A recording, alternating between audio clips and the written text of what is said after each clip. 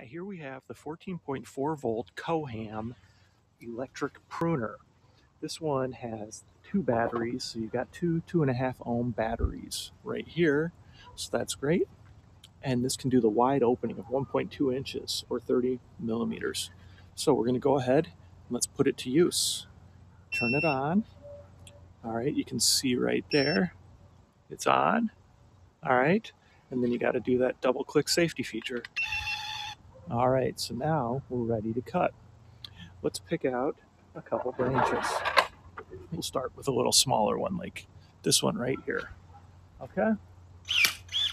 So you saw that was pretty much minimal effort on the on the pruner, right? So no problem getting that there. We should go for a little bigger one. Let's see, like this one right here. Okay, let me adjust this up. Okay. So we're going to go with this one now here, okay? Again, no issue there at all. So let's really go to a bigger one. Since these are all dead branches, might as well. So we could go ahead with this one. That's pretty thick. Let's uh, let's try that one and see what happens. Ready? Oh, can't get around it. So we'll go with this one.